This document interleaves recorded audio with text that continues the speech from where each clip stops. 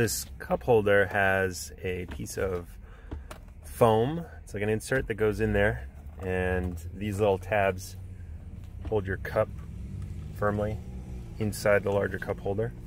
And this is a very common problem in every Ridgeline I've seen.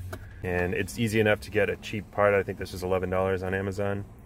Um, but there have been a few different uh, people saying how to actually get to it. Um, a couple videos said take off the entire console to get in here. Somebody else suggested that there's actually just five screws underneath here. I'm to test that method and hope that it is that easy. Just get those five screws, replace the foam. See how it goes. One trick that I saw in a YouTube video was to tie this little uh, squeeze trigger together uh, in the squeezed position just so that the drawer can slide freely. So I found something kind of interesting. I know that there's these two pins that basically stop this drawer. This is the drawer from going all the way forward. This thing here, this is the pin I'm talking about. On that side, it's this thing. And you should be able to force it upwards, but when it's pulled all the way forward, you look in there, you'll see that it's actually a hook If you see that little metal tab there?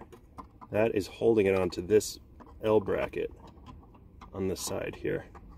So that when it's pushed all the way forward, you can't actually push that pin back into the body of the unit. So you have to release the drawer back in a little bit, just like half an inch.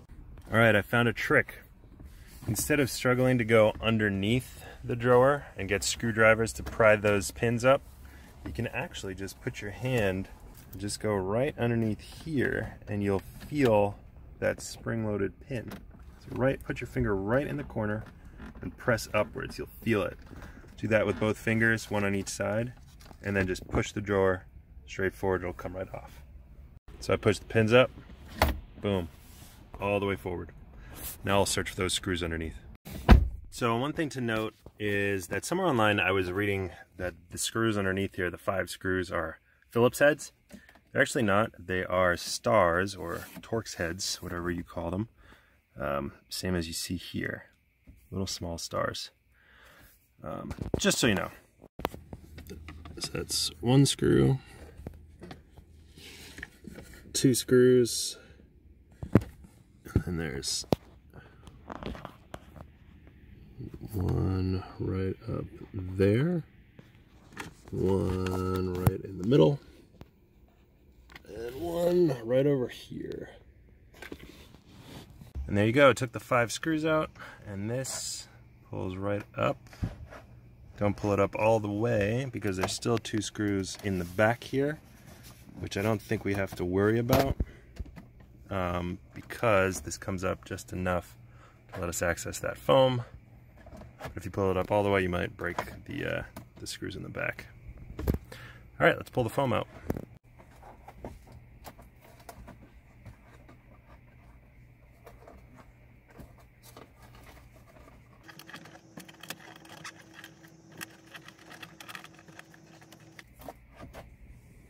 see what we got. Looks pretty similar. So I don't know how long this new one is going to last. Yeah, this old one has plastic reinforcing on the back too. Anyway, it's going to be uh, brand new. See how long it lasts.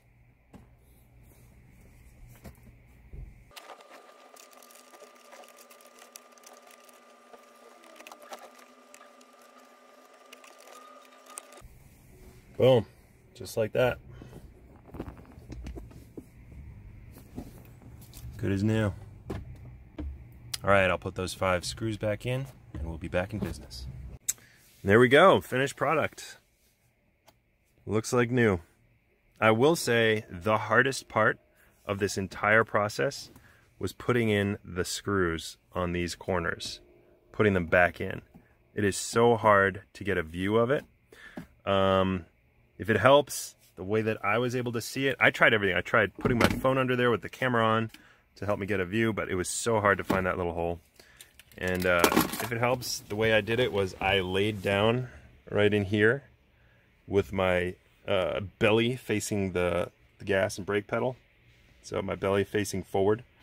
And I was able to get one eye uh, of a view right underneath the cup holder. Just sticking my head in there and then I could get my hand in there. Uh, so yeah, if you're laying down in your car, face forward, that is the only way I was able to see that screw hole. It took me probably 15 minutes just to get that one screw in. I got lucky on this one and was able to just uh, find it invisibly by sticking the screw up there. And I just happened to get lucky and find it. But there you go. Brand new cup holder.